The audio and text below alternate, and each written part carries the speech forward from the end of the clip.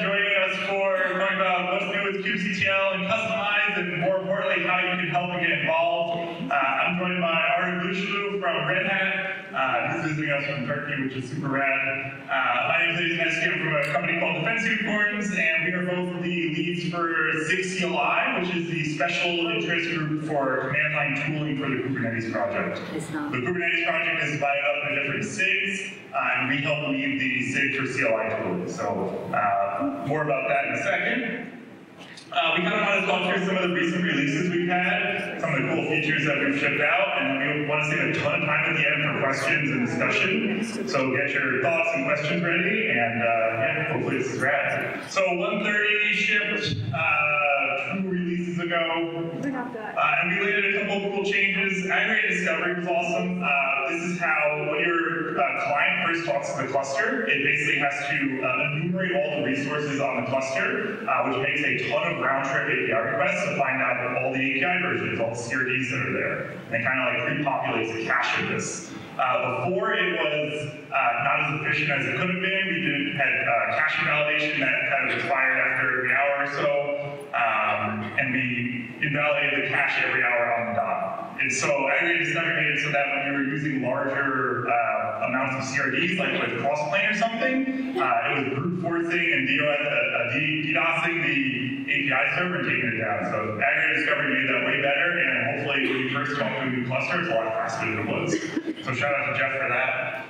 Uh, kubectl interactive delete was shipped by Arda here. This was a very long standing pain point for me, uh, which uh, if you ever deleted something by accident, this feature is built for you. Uh, fun fact, when you delete a namespace, you delete everything in the namespace. When you accidentally do a dash dash all and delete all namespaces, you have bricked your cluster.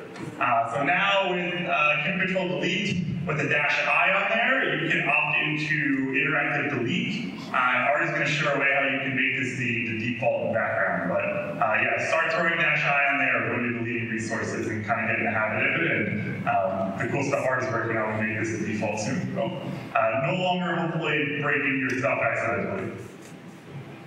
Uh, 130 brought a pretty big change to beta. Uh, SPDY, anyone familiar with what SPDY is? SPDY existed before HTTP2 was a spec, uh, and all Kubernetes streaming services, so port forward, exec, uh, any sort of like, you know, uh, communication with the, the, client back and forth goes over SPDY, which has been long since deprecated after HTTP2 was finalized. Uh, and so we are transitioning from SPDY to WebSockets as the default in the cluster. Hopefully this is no change to you, but we've run into a lot of protocol issues with SPDY uh, when doing things like, if anyone's had a port forward die under the hood, uh, that's related to this. So hopefully things get a lot better for you soon. Uh, and I think this will make stable in hopefully 133.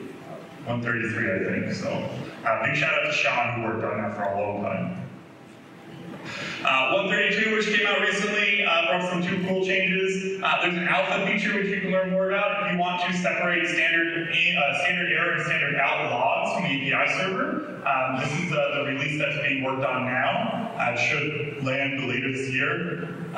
So that's a really cool when you're able to opt into at the API level. You can find out, you know, if you just want the standard error logs, you can get those out of the container. And then kubectl debug profiles is another one shipped by Arda. Uh, this added the ability that you can set some um, special profiles for different uh, flags and stuff you need for debugging. Uh, quick shout out to Krew. Uh, anyone used Krew before? The kubectl plugin manager. Uh, they've shipped a ton of plugins over the past couple of years. Uh, growth has been great, so if you haven't made a plugin, it's kind of super easy to get started with shipping Krew plugins. So check that out. Uh, really cool quote here from Ahmet, who's one of the maintainers for Krew.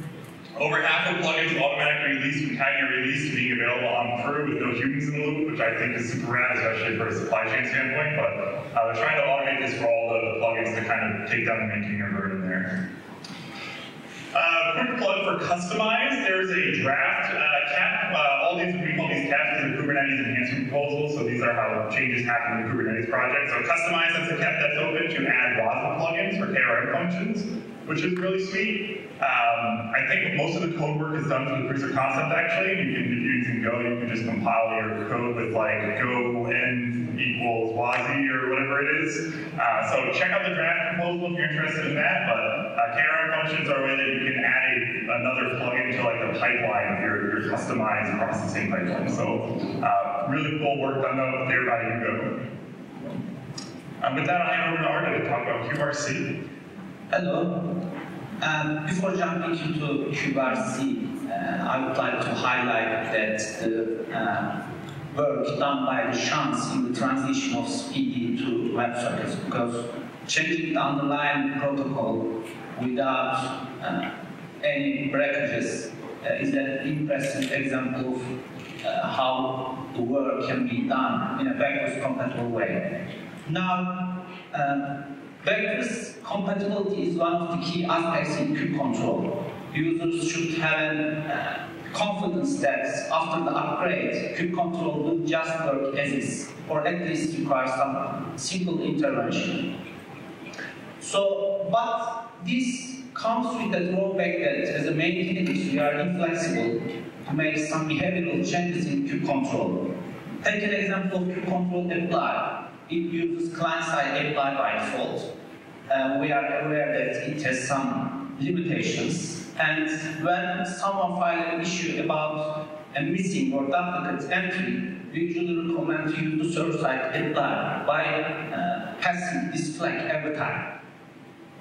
We can note that there are hundreds of scripts running on the production relying on some hidden behaviors of the client-side apply, and uh, we cannot change this behavior because it is very likely that some of these scripts will start failing, even if we carefully manage this transition. So, as maintainers, on the other hand, we are also aware we need to provide a solution to mitigate the problem in a natural way. So we decided to provide a release configuration file named kuberc, which is similar to kubeconfig, but more it is targeted to preferences. It, its default directory location will be same with the kubeconfig, and it's just like kubeconfig, you can customize the path by passing flag or an environment variable. Now, this is a typical example of how uh, kuberc file looks like. Now, when uh,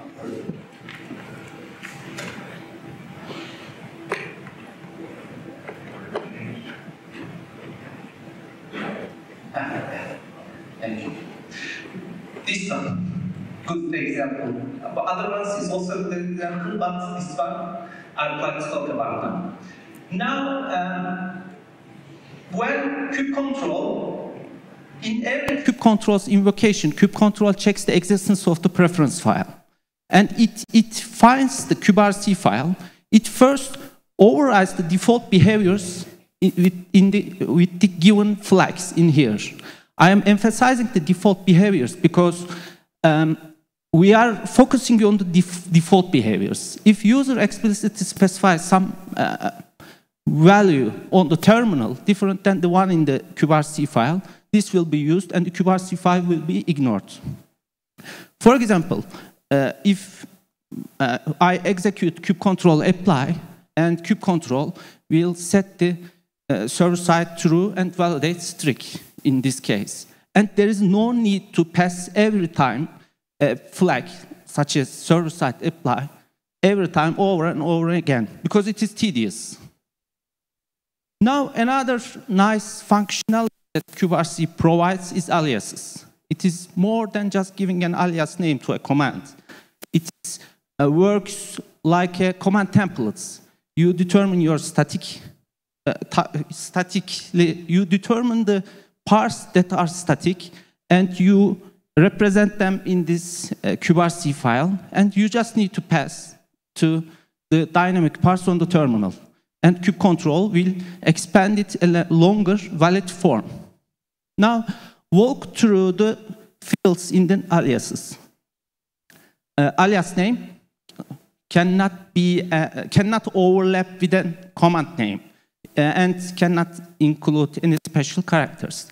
For example, analyze. Command uh, should be the built-in commands, but this includes subcommands as well. For example, I can edit here, create user, or create user role, etc. Flex is the similar mechanism, just like actually share the same mechanism with the override flex. It just sets the default values of the builder flags, and if user specifies a different value on terminal, it will be used, and the one in here will be ignored. Now, uh, arguments are the arbitrary fields in kube control. A good example of an argument is uh, resource names. It's just an arbitrary field that you are passing and expecting to be validated in the API server. Conventionally, uh, resource names are just added after the command name, but just conventionally. And prepend arguments can be used for these use cases. For example, if I have a mission critical pod and I want to uh, run different kind of scripts against the same mission critical pod, I can add this mission critical pod into the prepend args. And as you can see in the right hand side, first one, you just run the kube, kube control analyze and the script you want to run. And it will be expanded to a longer, well-known form of kube control.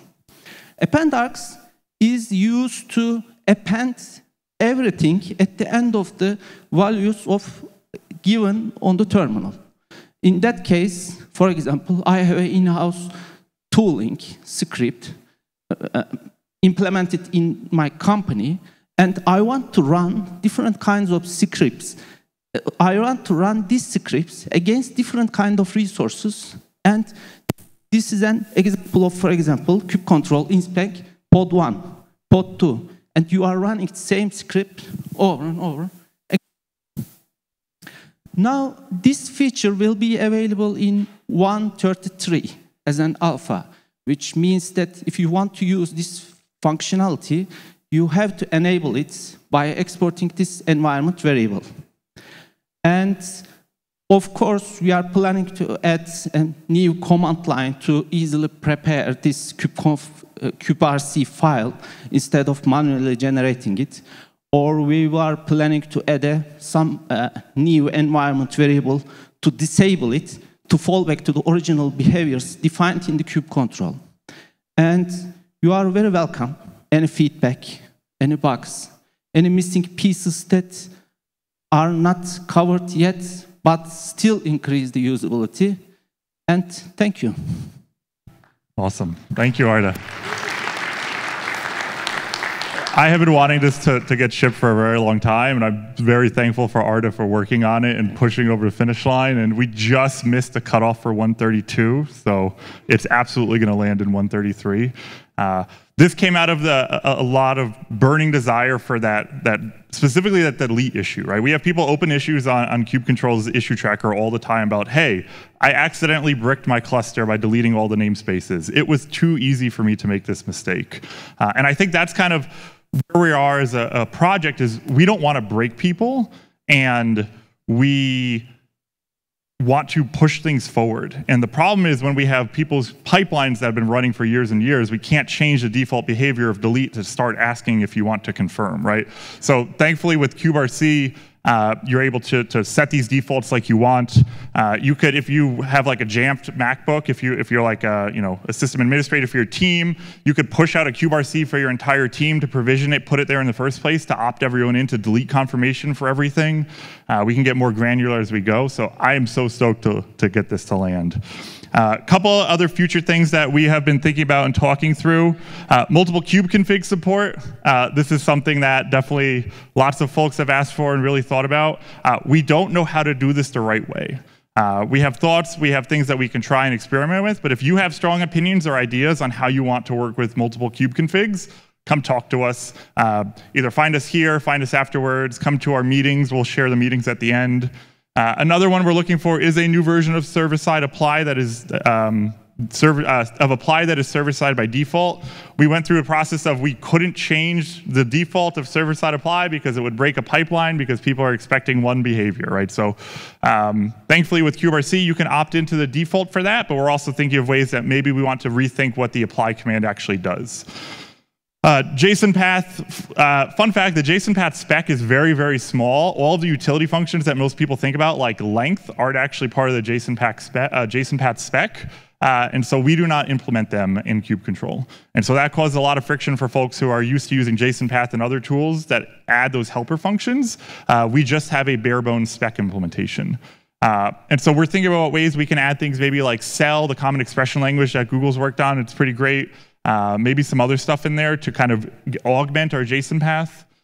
Uh, CRI native copy is another cap that we're hoping to start working on for 133. Uh, this will get rid of the requirement to have tar as part of your container if you ever want to use copy, which I think is super rad. We're going to hopefully build this directly into the container runtime interface.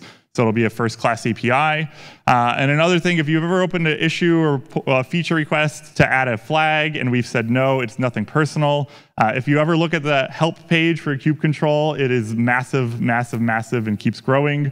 So we're getting very, very protective and strict about like what flags we actually want to introduce, especially single letter flags. Those are very, very hard for us to ever change or walk back. So. Uh, Last but not least, we have our meetings. Uh, if you would like to join us, please do. You don't have to register. You don't have to sign up. You can just kind of show up. Uh, if there's something that you want to add to our agenda, it is open. You just have to join our mailing list at the bottom there, and you have right access to our agenda. So you can propose something on the agenda. Uh, so every other week we have a SIG meeting where we talk through stuff, and then alternatively we have bug scrubs. So we walk through our backlog, we kind of talk through issues, triage them. Uh, I think kubectl probably sees at least 100 issues opened a month now on our repos. So uh, great meeting to come help us uh, get through that. Join us on Slack. Uh, and this QR code, I think, is a um, survey. You can fill out the survey. This helps us a ton to keep these maintainer sessions where we get to keep doing them. So please review the session. Uh, and with that, we got a bunch of time for questions and discussion. We got a mic in the middle of the room for the recording. Uh, anyone who has things they want to talk about, bring up, like this is the perfect time. This can be super informal too. Uh, we really want to hear from y'all what you're all struggling with, what you want improved, what stinks. Uh, and we want to make kube control better for everyone. So awesome. Yeah, I have a quick question regarding the support for multiple kube configs. Like, is it not working right now? What, what exactly is the problem with it? Yeah, it's Exporting the environment variable to do it or using the flag is great, but when people want to pair a lot of different things with like different contexts or different clusters and different users, it's kind of a really cumbersome process now. I know a lot of people that do like bash scripts to like wrap their environment to kind of set those up.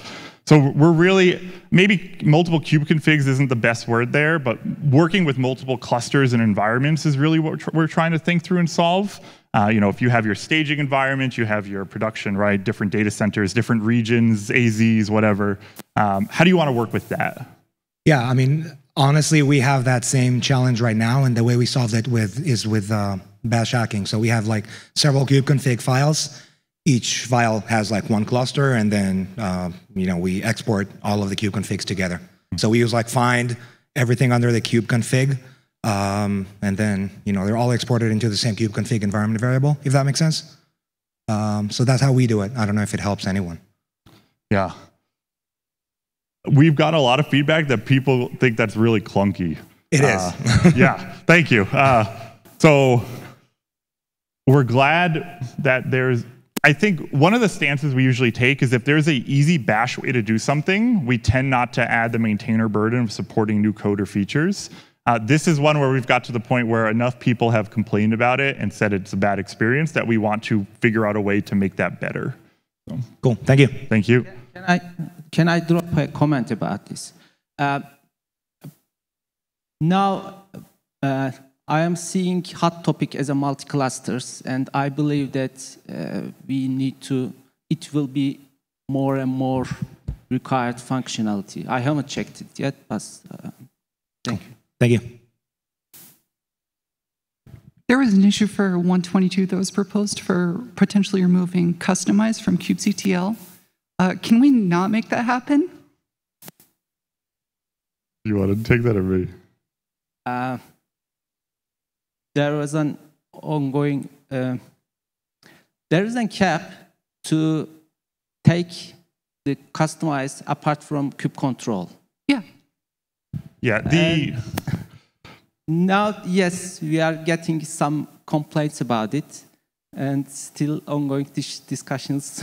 Yeah, I think the, the issue there is Kustomize has a ton of dependencies on all sorts of stuff, and that's been polluting the global Kubernetes. Kubernetes is a monorepo. Uh, Kustomize is out of the monorepo, and so pulling Kustomize into kube control has brought a bunch of other dependencies in, and it's become a real pain to upgrade the version of dependencies and Kustomize in kube control. And so I'm not sure if we're going to go through with that proposal, but that's kind of where it's coming from is it's adding a ton of maintainer burden. And so I think the ask is going to be out there for folks who really find value in it, send us a person to contribute and make that better for us. Hmm. Yeah. Thank you for your time. Thank you. Well, this might make my question a little awkward then because um, we, I'm in an environment where they approve the kube control CLI, but not the customized CLI. And so we rely on the customized build being part of it. My question was going to be if there was ever any possibility of getting the additional uh, commands like edit fix or edit set pulled in. But maybe that's a moot question now that Yeah. The I wish Maciej were here. He's they unfortunately gave us a overlapping talk with one of our other co-leads, uh, who is giving another talk right now. Uh, he's been the one driving a lot of that. Um, I'm sure we can find him afterwards to kind of dig into that a bit more. But I, I know a lot of the stuff that was pulled out to be plugins. Um, it was mostly for maintainer burden. And so the same kind of ask, like if people really find these features valuable, send us a person to help do the work to keep those things in tree, uh, in tree being as part of the main thing. Um, and I think we're very happy to do it. I think we just weren't able to find anyone to help us do the work there. So. Thank you. Didn't you face any issue about the customizing the kube controls version is older than the actual customized because someone need to also update the version in Kustomize in the kube control. Uh, for example, if you would additionally install the plugin as a plugin Kustomize, you will always get the latest and correct version. This is a, another problem that we are trying to also solve by taking apart this Kustomize from the kube control. We have not run into that issue personally, so You just used a built-in one then I assume, right? Yeah. I think what a lot of folks wind up happening is they're using the external one as well in development, and it has a different version than what's bundled with, because Kube Control can only release alongside Kubernetes, so we get three releases a year. Kustomize can release as quickly as they want, um, and so you get this version drift where there's incompatibility, and that's been kind of a pain point too. Yeah, yeah. We've just been using the one that was built in for Gotcha. building everything, but then in the transition from V4 to V5, we've had to pull the actual customized CLI to do like the edit fix to do the upgrades. Okay. Yeah. Let's talk more. We'll find Maciej. So I'm coming from an ADHD kind of perspective, frankly, uh, where the output from kubectl comes with so much output. It's hard to see stuff. I always use uh, kubectl, and I wonder if there's if there's a plan to integrate it into uh, kubectl that we can get a colorized output to. Um, Can I- There's even two. There's even two versions of the kubectl color uh, kubectl wrapper. Now, kubeRC is when we first uh, conceptualized kubeRC, coloring is the another uh, good uh, functionality that kubeRC can provide. For example, if you add coloring uh, in kubeRC file, it will just color. Otherwise, uh, changing the default behavior, adding coloring uh, might Yeah, we. I thought we had a cap. We definitely have a long-standing pinned issue, um, and it's been a the ANSI colorscapes that are required also breaks pipelines, uh, which everything breaks pipelines, and kuberc hopefully makes it so that we can add it so you don't have to dash dash color every time you want to do it, And so yes, hopefully, I think I think we want to move towards that as a thing you can opt into. Right. Yeah. Yeah, 100%. For example, kuberc, there will be some kind of a recommended uh, flag. For example, server-side apply, interactive delete, and coloring is the third one that is very likely put into recommendations of kube kuberc. Okay, here's the one to follow. Uh, 524. And if you want to help work on it, absolutely join us. We'd love it. yep. A, uh, an underappreciated feature of Kustomize is the Helm inflator, and I was kind of curious what the status of it was because it feels like that's been in a long-term plan for a few years now in terms of making it a KRM function. There doesn't seem to be much traction or movement. Is it just waiting for contributors? Yes. Um, the original Helm maintainer was unfortunately laid off last year and then decided to go back to school. Uh, and so Helm has a new maintainer, uh, Hugo, who's awesome. Um, and he is trying to move things along. So show up to the, the meetings and see what you can get involved with there. Um, but yeah, it's definitely, it comes down to a person issue. I think there was a lot planned with like the KRM functions, like um, there was a whole sub project that got spun up of it. It was like a combined effort between Apple, Shopify, and Microsoft. And I think all the people who were working on it got moved around or laid off. And it was just unfortunate. So have your employers fund open source maintainers. Yeah, it's Red Hat, so I'll bug them. Ah, Thanks. Thank you. we still got about six minutes left. If other folks have questions or thoughts, want to throw tomatoes.